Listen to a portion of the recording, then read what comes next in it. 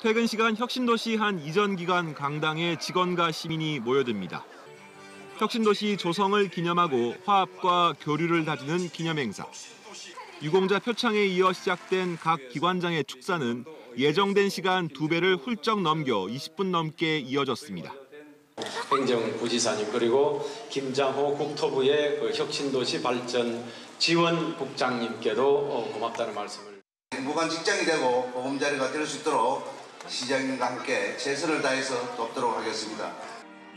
본 행사에서 이전 기관 직원들이 실제 참여한 것은 다섯 개 팀 장기자랑이 전부. 나머지는 초청 가수의 공연으로 행사는 막을 내렸습니다. 행사 참석자는 700여 명. 일부 이전 기관은 행사 참석을 봉사활동으로 인정하며 참여를 독려했지만 객석에는 빈자리가 남았습니다. 뭐 서명하시는 거지 뭐 석기 저희 민간 직원들 그냥 확인하는 거예요.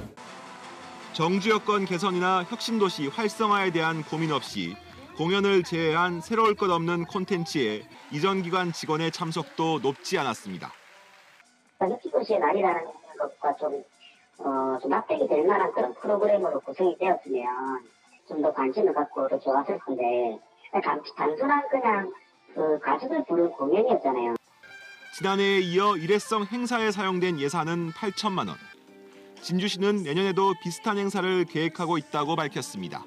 KBS 뉴스 황진학입니다.